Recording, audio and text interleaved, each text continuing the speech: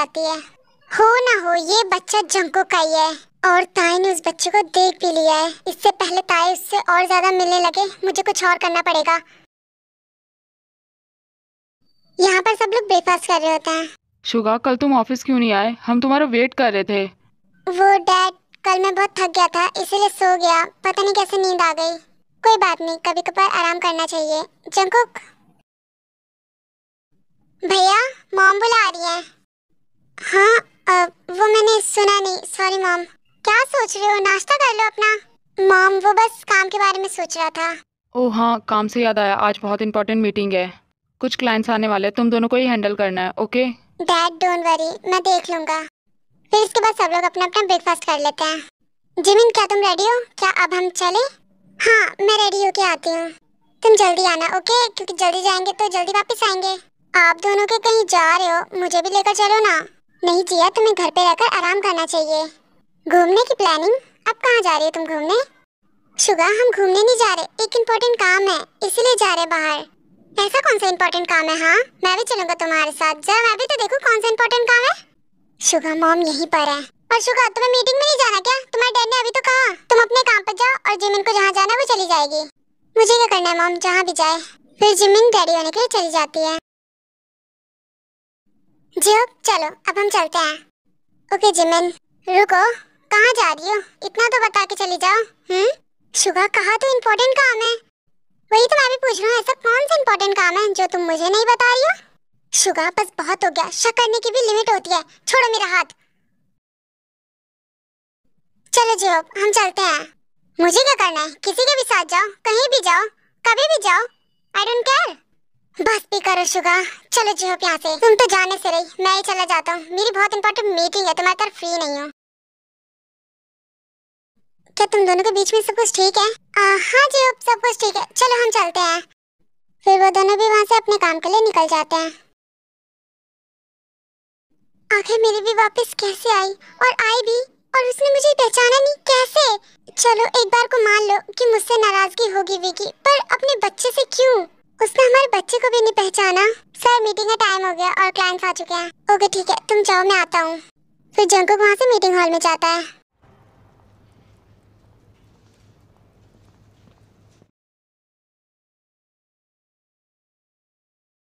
Good morning everyone I am sorry for late क्या clients आ गए?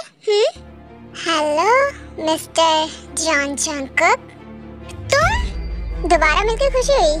तुम तुम यहाँ क्या कर रहे हो? और तुम बाहर कैसे आए? जंकुक शांत हो जाओ। पर भाई, ये तो जेल में था ना?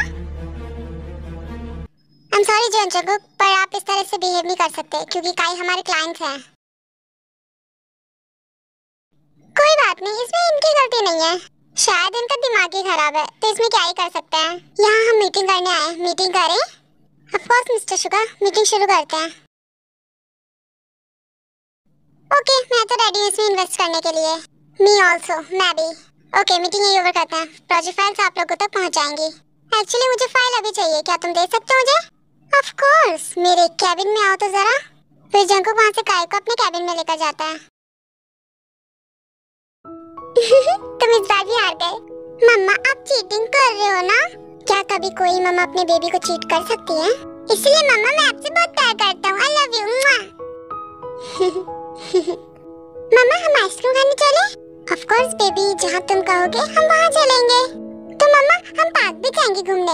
ऑफ़ कोर्स हम जाएँगे लेकिन किसी और दिन ओके क्योंकि अभी तुम्हारे स्कूल की छुट्टी होने वाली है और मुझे भी घर जाना है है ना बेबी मम्मा आप मेरे साथ घर क्यों नहीं चलते? आ, क्या घर? हम किसी और दिन चलेंगे? नहीं मम्मा सबकी मम्मा उनके साथ रहती है। बस आप अलग रहते हो। अब मैं इस बच्चे को क्या बोलूँ कि मैं इसकी मम्मा नहीं हूँ। अगर मैंने इससे ये कह दिया तो ये कितना हर्ट हो जाएगा। Thank you so much Jimin तुमने जिया को कुछ भी नहीं बताया। अगर बता दिया होता तो मेरा सरप्राइज़ सरप्राइज़ नहीं रहता फिर। जेहोब तुमने जिया के लिए इतनी मेहनत से सरप्राइज़ तैयार किया है तो मैं उसे कैसे खराब होने देती? डोंट वरी जेहोब मैं किसी को कुछ नहीं बताऊँगी।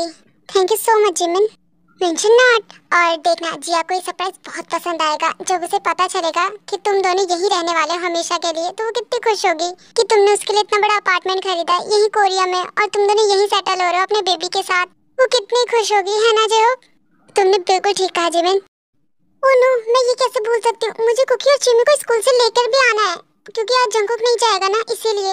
क्या हम अब चले उन्हें लेने के लिए? क्योंकि जंकुक आज मीटिंग में बिज़ी है, इसलिए वो लेने नहीं जा पाएगा। जिमी, ये भी कोई पूछने की बात है? चलो, चलते हैं उन्हें लेने। तो जिमी ने जो है कुकी और चिमी को स्कूल से लेने के लिए चले जाते हैं।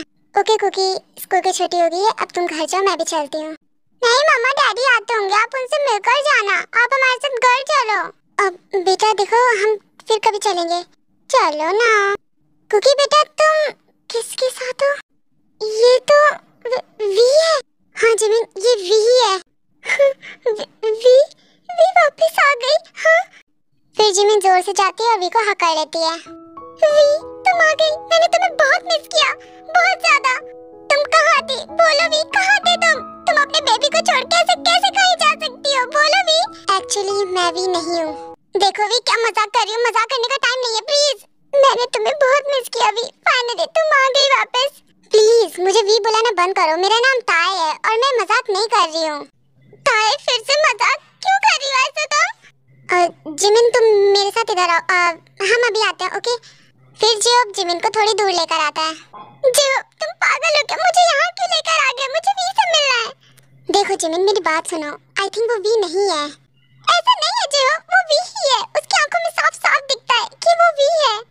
जिमिन मुझे भी ऐसा लगता है कि वो वी है, पर उसकी आँखें देखकर ऐसा लगता है कि जैसे उसे कुछ भी नहीं पता, जैसे वो हमें भूल चुकी है, जैसे वो हमें जानती ही नहीं। नहीं जेहो मैं वी को घर वापस लेकर जाऊँगी, इससे जंको कितना खुश होगा।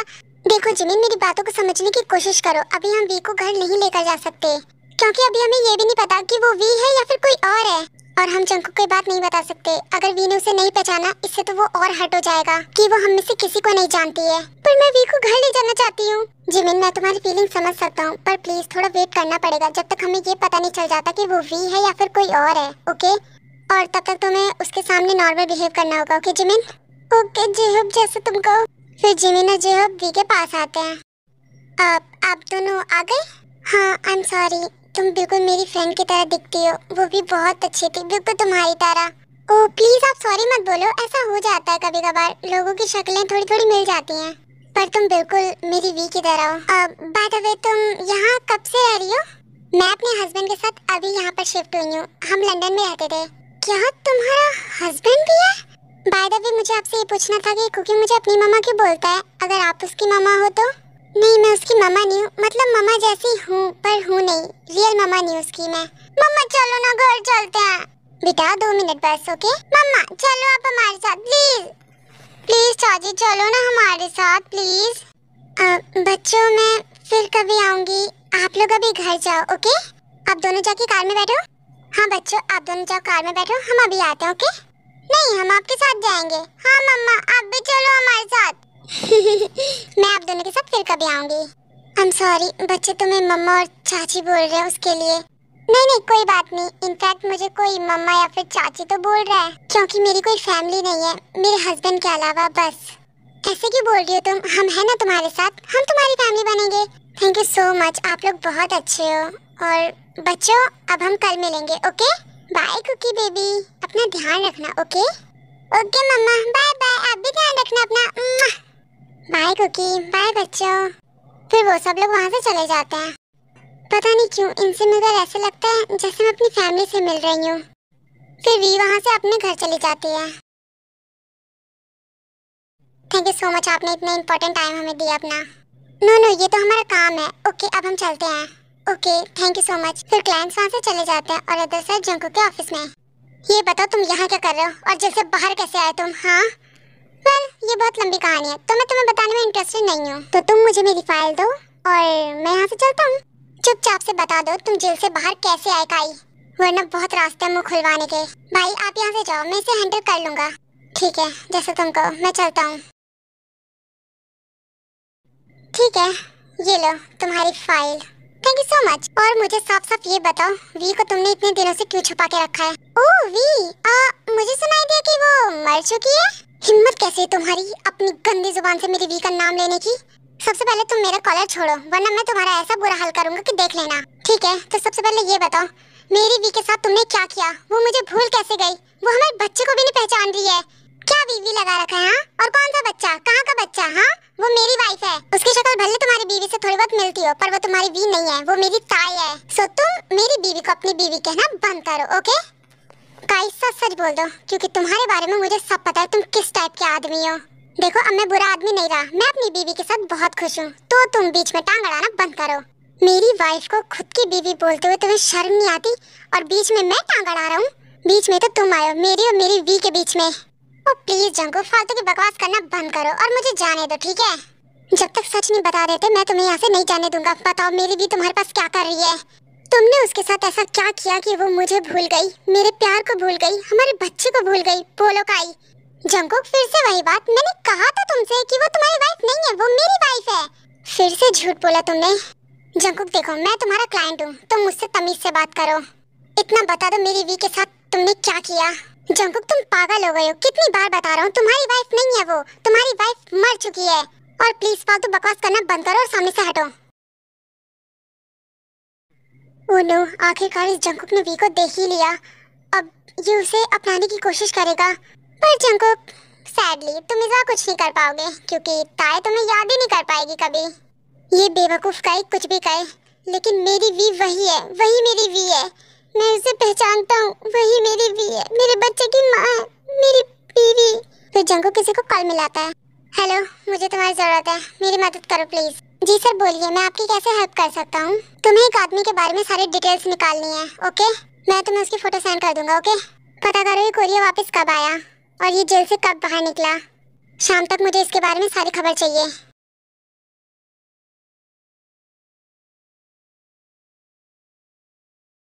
यहाँ शुगर लिविंग रूम में कुछ काम कर रहा होता है। ठीक है, कल ऑफ़िस में बात करेंगे ओके तुम तुम यहाँ क्या कर रहे हो? वो एक्चुअली मैं यहाँ जिमिन से मिलने आई हूँ। वो ऊपर है। तुम जाके मिल सकते हो। शुगा कैसी बात कर रहे हो? मैं जिमिन से नहीं, मैं तुमसे मिलने आया हूँ। अच्छा जिमिन के होते हुए तुम मुझसे मिलोगे? देखो शुगा तुम गलत समझ रहे हो। मैं क्या गलत समझ रहा हूँ? जरा बताना तो। देखो शुगा तुम गलत समझ रहे हो। जिमिन ऐसी बिल्कुल भी नहीं है। वो मुझे अपना भाई मानती है और मैं उसे अपनी बहन।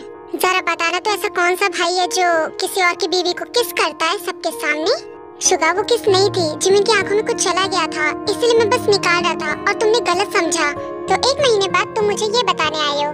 देखो शुगा, मैं नहीं चाहता कि मेरी वजह से तुम्हारी फैमिली खराब हो, इसीलिए जब मुझे सच पता चला कि तुम जिमिन के साथ ये सब कर रहे हो तो मुझसे रहा नहीं गया इसलिए मैं आ गया बताने तुम्हें कि जिमिन की कोई गलती नहीं है। शुगा उस पर शक करना बंद करो, वो बहुत अच्छी है, वो सिर्फ़ तुमसे प्यार करती है। जैक्सन, तुम यहाँ? ओ हेलो जिमिन कैसी हो तुम? मैं तो बिल्कुल ठीक हूँ, और तुम कैसे हो? वो बिल्कुल ठीक है, और मुझसे बात करने आया था। ओके मैं चलता हूँ। मैं तो बस सच्चाई बताने आया था, जो कि मैंने बता दी। अब विश्वास करना शुगर के हाथों में, वो करेगा या नहीं? उसने बताया ना तुम्हें सारा सच? हाँ उसने बताया मुझे सच। आई एम सॉरी सॉरी पर क्यों? तुम क्यों सॉरी बोल रहे हो? तुम्हें अब हुआ विश्वास? जब उसने कहा तो तुम्हें विश्वास हो गया। और यही बात मैं कह रही थी, तब तुम्हें विश्वास नहीं हुआ? एम सॉरी जिमिन बट मैं क्या करता? मैं बहुत टूट गया था। तुम उसे सच मान रहे थे जो सच था ही नहीं। और तुम अपने गुस्से में इतना खो गए कि मुझे इतना पेन दिया, इतना पेन दिया एक महीने तक। एम सॉरी जिमिन प्लीज़ मुझे माफ़ कर दो प्लीज़ मैंने अनजाने में अपनी जिमिन को इतना हर्ट कर दिया, इतना पेन दिया उसे, पर वो जेहूब के साथ कहाँ गई थी आज? बस, जल्दी से उसका कॉल आ जाए, बस। हेलो जल्दी बताओ, क्या पता चला? सर, ज़्यादा कुछ तो पता नहीं चला, पर थोड़ी बहुत इन्फॉर्मेशन मिल गई है। जितनी भी मिली है, जल्दी से बता दो मुझे। सर, जब आपने काय को जेल भेजा था तो वो उसके एक महीने बाद ही जेल से छूट गया था। पर वो जेल से बाहर कैसे आया?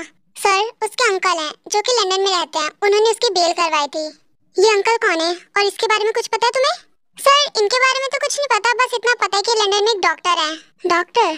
Thank you so much इतनी इन्फॉर्मेशन देने के लिए।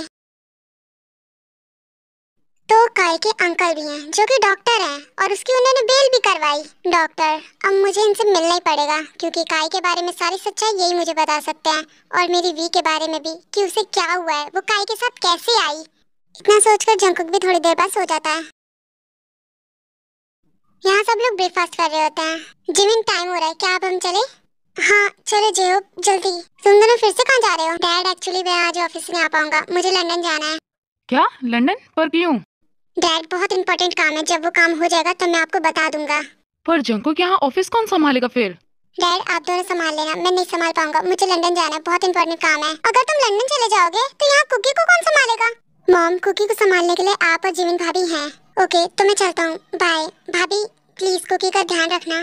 डोंट वरी तुम जाओ। मैं कुकी का ध्यान रख लूँगी। कुकी की फ़िक्र मत करो। उसे संभालने के लिए उसके पास उसकी मम्मा है। आई मीन मैं हूँ उसके पास। फिर जिमिन जंकुक जेहब वहाँ से चले जाते हैं। जंकू का तो पता है वो लंदन जा रहा है, पर जिमिन और जेहब कहाँ जा रहे हैं, मुझे पता लगाना पड़ेगा।